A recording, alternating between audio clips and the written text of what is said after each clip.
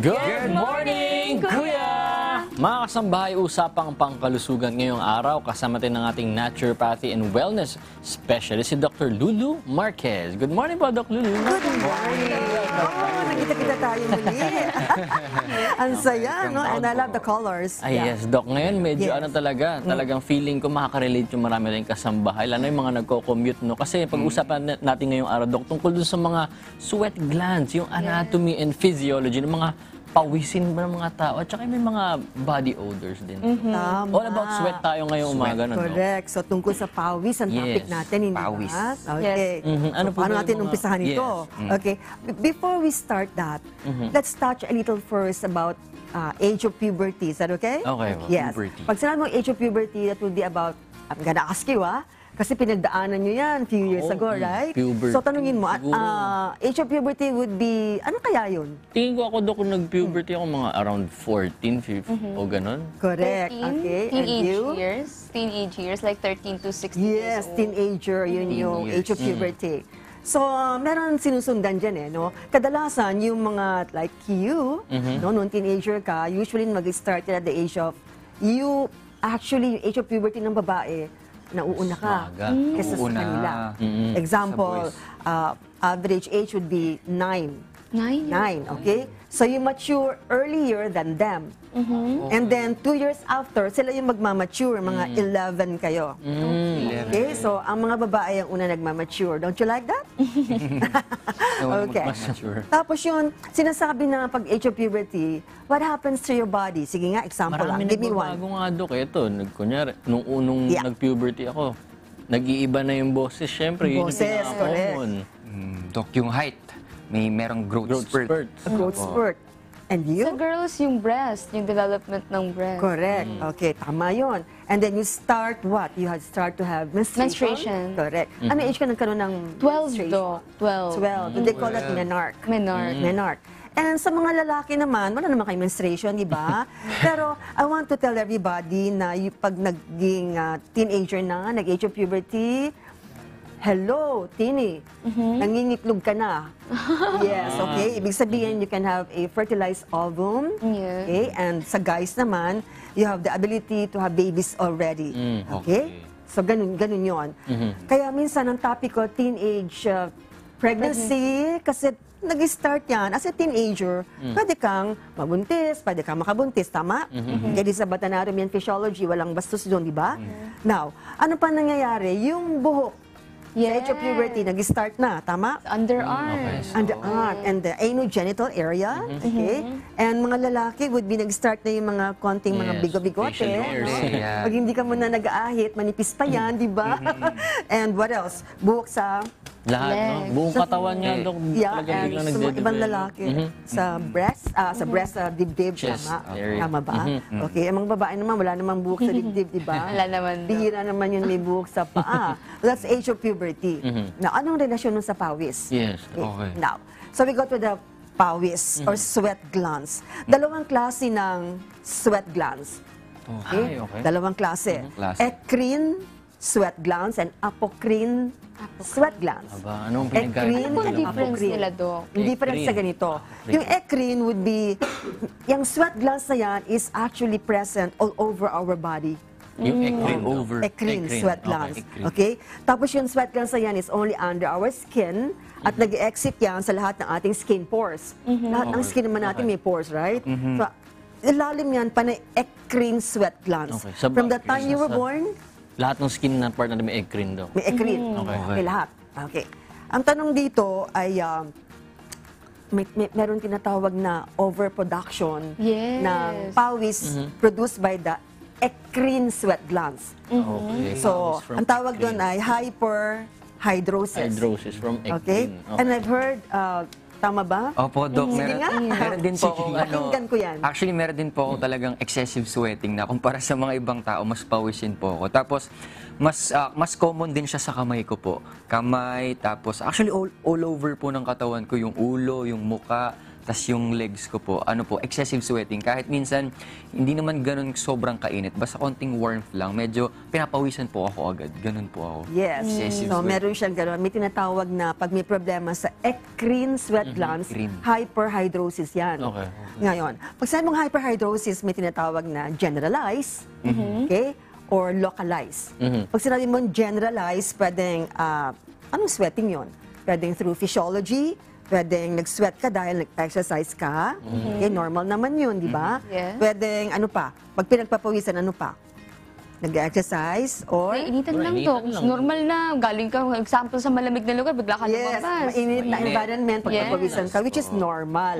Na nangyayari din sa'yo, kaya lang sobra kang pawis, di ba? Excessive lang. Tama ba? Yes po. okay. So, yun yung tinatawag na physiological sweating. May tinatawag na pathological sweating. Yun naman, kung meron kang ah, H fever, dengue, typhoid Ah, fever, Yes. so you would sweat. Okay. Hindi normal yun, di ba? Or kung ikaw ay diabetic, nagsisweat ka din. Kung may problema ka sa thyroid gland mo, Yes. problema dyan, magsisweat ka din. Kung ikaw may problem sa brain, specifically the hypothalamus, sa part of your brain, kung inflamed yan, pwede kang mag-sweat. Or if you are into uh, medications, may drugs, magsisweat ka din. So, pathological sweating yon. Pathology. Now, yung ikaw, localized, minsan ang sweating mo, tama? Kaya lang, pag sinabi mo ang eccrine sweat gland, masyadong madami sa Sa kamay. Kamay. sa. Kaya thumbs, mas ano, okay? oh, okay. Sa ilalim ng paa, the soles of your feet, at pwede din sa noo, Yes. or pwede din sa kilikili, tama? Okay, that's about the eccrine sweat Eccrine, glands. eccrine. Okay, ano yung isa? Apocrine. Apocrine. Okay. Yung apocrine sweat glands would be actually ma-activate yan at the age of puberty. Okay? Ah, yung- Yes. Sa, meron bang lugar to, Dok, na parang, oh, la, buong, lahat ng balat No, natin no. din may Okay. apocrine. Yung apocrine sweat glands is not all over your body. Okay. Yung eccrine nga yun, di ba? Eccrine lang yung Like what's happening to you. Yes, sir. okay, yung apocrine would be more kung saan may buhok. Mas Oh. maraming buhok. Underarm. Okay, so yan yung sinasabi na kung umabot ka ng age of puberty, you have already buhok here. So maraming apocrine sweat glands doon. Okay. Kasi apocrine. nag-exit siya through the hair. Eh, marami kang buhok dyan. Eh, di maraming apocrine dyan, di ba? And through your anogenital area, of course, meron din dyan. Tama? Or minsan sa bigote, pinagpapawisan ka. Tama? Okay? So, yan ay nag-umpisa lamang at the age of puberty. Okay. Naintindihan? So, eccrine And and apocrine. apocrine. Okay? Ngayon, may, tina- may nagtanong eh, kung ikaw hyperhidrosis, meron di bang tao hindi pinagpapawisan? Ay. Kilala kayong ganun? Meron. Meron, Dok. Parang kahit na anong workout niya, kaya kahit mainit siya, naglakad siya, wala siyang power. Magpapawisan man, pero sobrang konti lang. Parang Yeah. yung iba hulas na hulas na siya, okay pa. Okay pa, pero wag, wag siyang magmalaki. Kasi abnormal Huwag siyang yun. magman. Okay. Abnormal Hindi, hindi ako pala yun. pinagpapawisan. O, eh, eh, hello, buhay ka pa. Okay? Mali po yun. Abnormal din po yun. maganda Okay? yun pala. So, anhydrosis ang tawag doon. Anhydrosis. Hyperhidrosis, may anhydrosis. So, anong nangyari? Ba't ganon? Ba't ganun? Kasi yung eccrine sweat glands niya, hindi nagpo-produce ng sweat. Yung egg. Okay? eccrine. Or yung conduction niya, hindi talaga lumalabas yung sweat. So, mag-ingat yung mga taong ganun kasi pwede siya ma-heat stroke. Nako. Or heat Prone exhaustion. Okay. Sila It's not prone. good. Huwag siyang magmalaki, di ba? So, naintindihan na. Okay. Hyperhidrosis, Anhydrosis. anhydrosis. Anhydrosis. Right? Ngayon, anong gusto mo itanong? Yung Ano po yung nagkukos? Bakit nagkakaroon ng, kumbaga ng anhydrosis? Hindi lumalabas yung sweat nitong mga taong may ganito? Yes, so may problem yan. Could be genetics, di ba? Pwedeng, i- actually, yung mga taong may ganyan, may mga hereditary problem and other degenerative diseases. Okay? Okay. So, medyo Magpapacheck. problema yun. Okay? Magpa, magpa-check up yan, hindi nag, pinagmamalaki yun, hindi ako pinapawisan. Always fresh ako. Pero Dok, sa mga may ganun, may, hypo, may hyperhidrosis at saka an- anhydrosis, ano po mas mahirap i, kumbaga, i-treat sa kanilang dalawa? Ah, okay. Yung hyperhidrosis is pwede ka magpa-check up, okay? Sa iyong dermatologist or kung wala ka naman sakit sa iyong thyroid, hindi ka diabetic, hindi ba? Wala kang Hindi problem naman, sa Dok. thyroid? Wala pa naman, Dok. Or Wala, Wala pa pa naman. wala pa Parang nag-aabang ka. okay, Parang wala mga kang dyan. problem sa hypothalamus, wala kang drugs na tinitake? Wala naman. Wala naman. Okay? So, treatable naman yan. You can Okay. manage that. Mm. Okay? Manage. Meron pa nga isa eh. Pwede daw i-botox. Yes, Beto. Oo. Actually, Dok, yun yung parang nirecommend po sa akin, Botox. Kamay mo? Okay. Pwede. Opo, okay daw po ba yun? Yung mga Pwede yun. Okay Oo. lang. Is it safe, recommend Doc? yan ng mga derma. Ah, okay. Eh di sabay mo na rin kung may mga wrinkles ka, ipabotox mo na rin. dito sa face po. No? Pero okay ka naman. Ah, okay naman. Pawis Yung pawis lang talaga. Pati kulubot tanggal, tama? Di ba? Opo. Okay. Pero Dok, pag mga ganyan po ba, kapag ah, yun nga po, yung hyperhidrosis and androsis, ano po ba yung mga pwedeng risk kapag mga ganyan? Kapag, yun po, for example, ikaw hindi ka pinapawisan, ano po ba yung mga Ah, pwedeng yun. complications na pwedeng mangyari sa katawan? Nasa banggit ko kanina, heat stroke, Heat at stroke. heat exhaustion. Mm. Okay. Sa mga tulad naman niya, Dok. tulad naman niya. Sa mga- Sobra naman. Sobra naman. Ano naman yung Sobrang mga dapat niyang iwasan naman? Mas madaling ma-manage naman yan, okay? Katulad nung punta ka sa derma mo, magpa-botox ka, wala naman sinasabing complication, matatakot ka na, no. Okay, Kasi it's manageable. Pero ano yung dapat niyang gawin? No? Kasi lagi siyang naglalabas ng, kumbaga, ng pawis. Dapat ba doblehin niya yung pag-inom niya ng tubig? Kasi lagi siyang naglalabas Correct. eh. Kasi ma-dehydrate ka sa okay. glass of Okay. water. Okay? You have to do that. Din pala Okay, so you have to Yun ang pinakakalaban. Kailangan iinom ka ng madami. Yeah. Drink glass of water. Kung umiinom siya ng 2 liters, ikaw 3 liters. Mm. dagdagan ko kasi pawisin nga naman. Gano'n ka ba sports? Meron, Dok. Nagbo-basketball po minsan. Ganyan. And minsan po nag-exercise. Kaya yun nga po, nagdodoble rin po talaga ako ng water intake. You have to do that. Okay? Sana ma-manage naman yun, hindi ba? Ito yung problem minsan. Okay? So, yung ibang mga tao may putok. Ayun, na Ayun, putok. body Body odor. odor. Body odor. Okay? Bakit kayo may body odor? Yun ang tanong.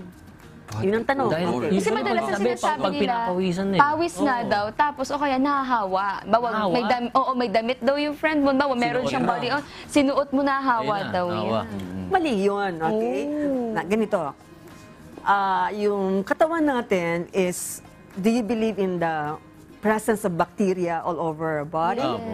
Mhm, Yes, totoo. Right? Kahit na naligo ka, magkakabakterya ka pa rin. Meron there. pa rin talaga Okay? nabubuhay. It is just there. It's it normal. Kahit yung ating gastrointestinal system, our small intestine, punong-puno ng bakterya. Yes. Kaya lang good. Good. Yeah, Good or bacteria. bad. Okay? So that's why we need probiotics and prebiotics. Prebiotics. Okay? Now, so, marami palang bakterya yung skin ko. Pati Correct. skin pala, Dok. The skin. Okay. We are enveloped with bacteria. The skin mismo. Oh. Okay, ngayon, eto na, yung apocrine sweat gland. Mhm. Nag-produce siya ng sweat. Okay, remember, itong sweat na to is from, nanggaling siya lumabas through the hair, right? Yeah. Okay? And kadalasan,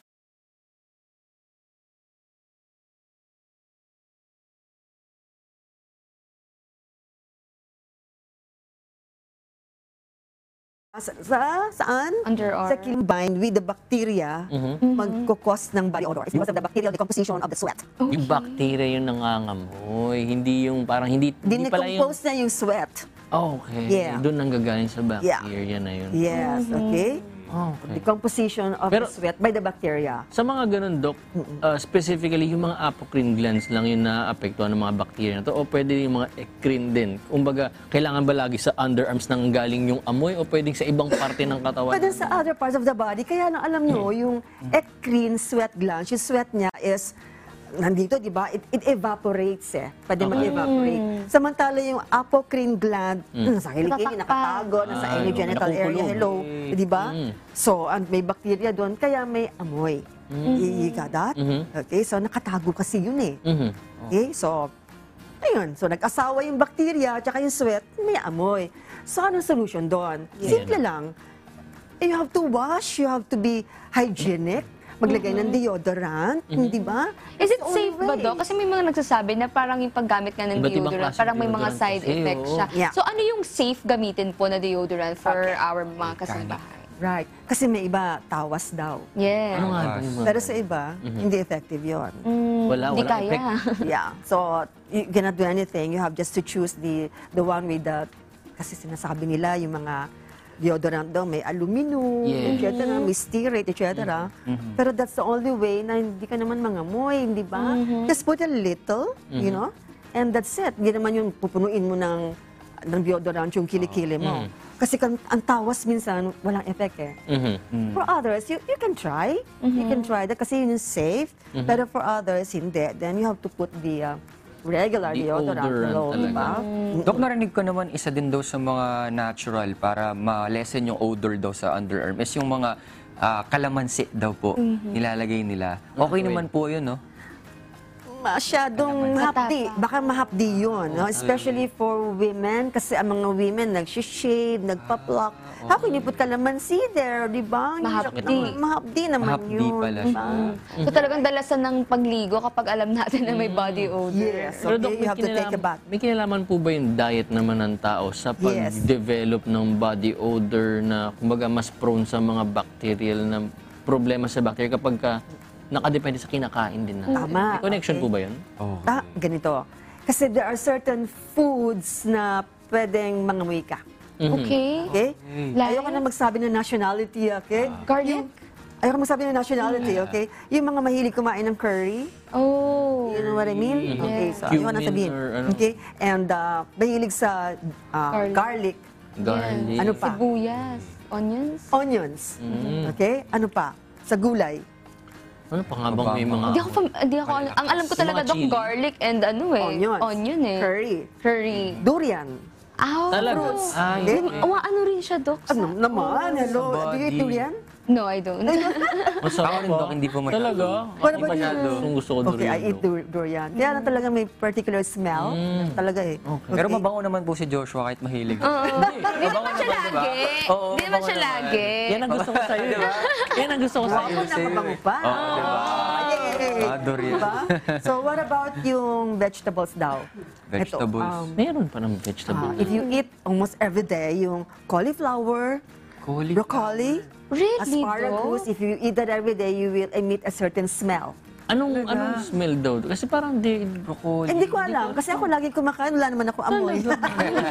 Yun na nga, Dok. eh. Broccoli. Broccoli and yeah, cauliflower. it's just according to the study. Like, maybe if you eat that every day, three times a day, baka may amoy Yes. ka, no? Mm, Right? Kapag mga ganun pa naman, Dok, sa mga gym goers, isa sa mga diet nila yan para daw sa mga protein and para mas mabilis yung digestion is yung broccoli nga po and Ah, cauliflower. ganun nga siguro yung scent ng gym din, eh, no? Yeah. Pag sa gym, di ba? Pag sa gym, Yung isa mga ganun din, pawisan no? yung mga tao naman.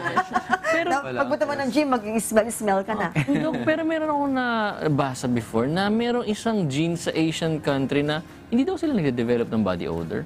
What, uh, which one? Nakalimutan ko kung parang sa Southeast Asian na parang may certain gene sa isang Korea yata or mga bansa dito sa Asia na Yeah. wala silang body odor dahil Wala doon silang sa body odor, okay? Hindi kaya yung rice wine na sinasabi nila. rice wine. Rice. Oo, may ganun eh. Correct. Okay, Rice ganito. wine.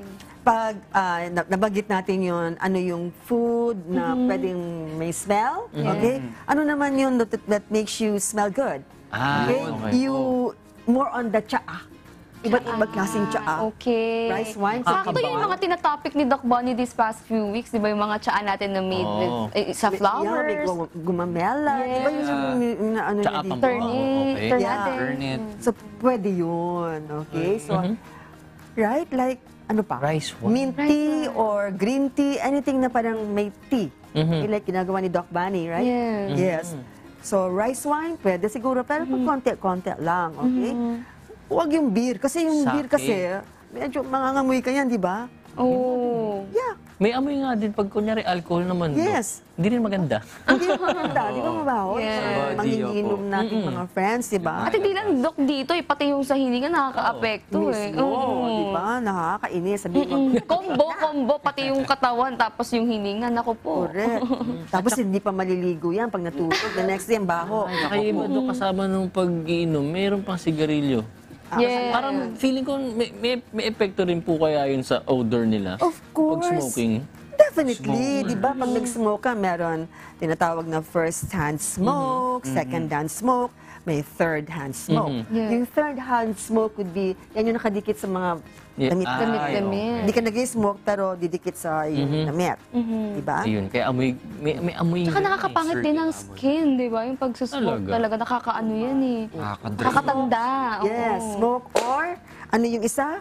Vaping. Ayan. Walang excuse kahit vape or ano pa yun. oo. Kahit may scent, may sinasabi kasi ni Doc, may scent, mabango, di ba? May mga flavor, flavor. Kasi yung iba sasadyain pa para maamoy mo kasi mabango naman Bubugahan daw. ka. Bubugahan ka ba sa mukha? Diba? no? Pero yung damage na yung lung tissue mo, di ba? Mm. Mhm. Pero Doc, aside po sa mga, ano, katulad po ng mga nabanggit nyo ng mga tea, meron pa po bang ibang mga food na nakakapagpaganda ng odor natin? Katulad po nung ano, mga citrus fruit, nakakatulong din po ba? Pwede. Citrus fruit, correct. I forgot that. Tama yung sinabi mo. You reminded me. As in, Like the lemon, lemon juice, ganun Yes. to. Oh, We drink that every day.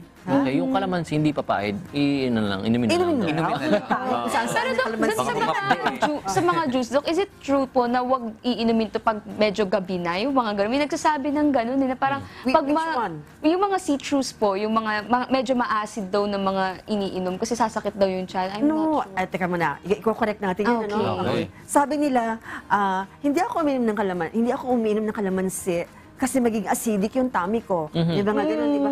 Mali yun, no? You see, alam mo, itong mga citrus na to, this is alkaline.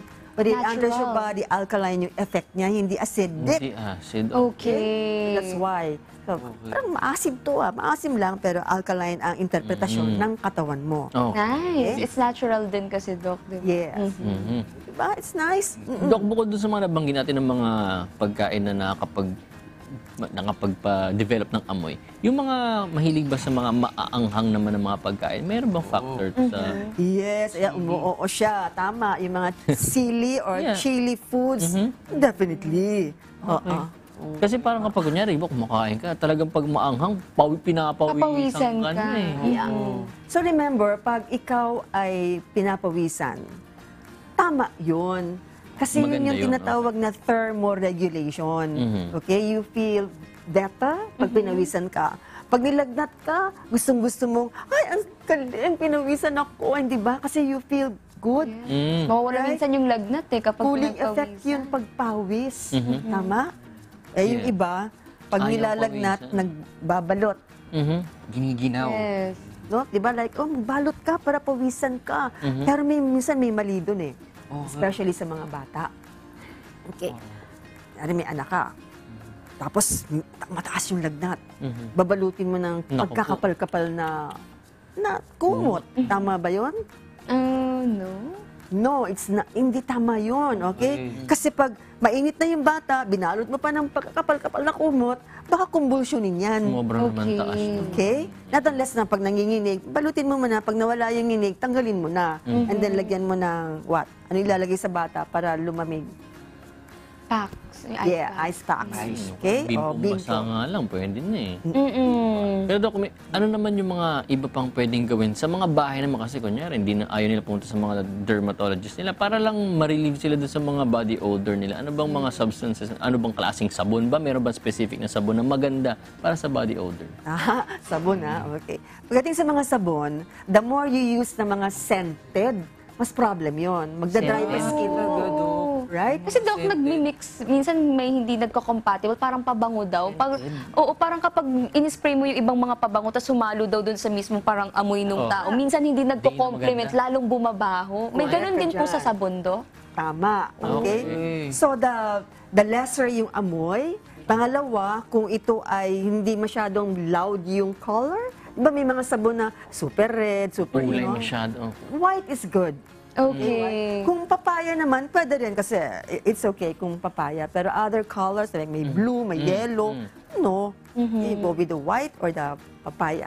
Yun. Mga kasambahay, sana marami kayo natutunan patungkol sa ating mga sweat glands at dun sa ating mga body odor, paano natin yan maiibsan. No? Pero this time, Doc, pupunta naman tayo sa ating mga social media questions. Question po from Don Torres. Ano po kaya ang mabisang kainin para po maalis ang pangangasim ng sikmura? Minsan din po ay kumikirot po ang tiyan ko kahit nakakadumi naman po ako ng regular. 48 years old po ako. Marami pong salamat sa inyong kasagutan. Mm. Okay. So, ang problema niya ay nangangasim ang sikmura. Okay, hindi naman sinabi ko ilang taon siya, right? Ito, Ah, 48 years 48 old Doc. po. You're 48. Okay. Alam mo, yung pangangasim ng tiyan, kuminsan, depende sa iyong kinakain. Tama? Okay? Minsan, the moment you wake up, kape ka kaagad. Mali yun. Ay, Okay? oo. You always think of alkaline foods, alkaline drinks.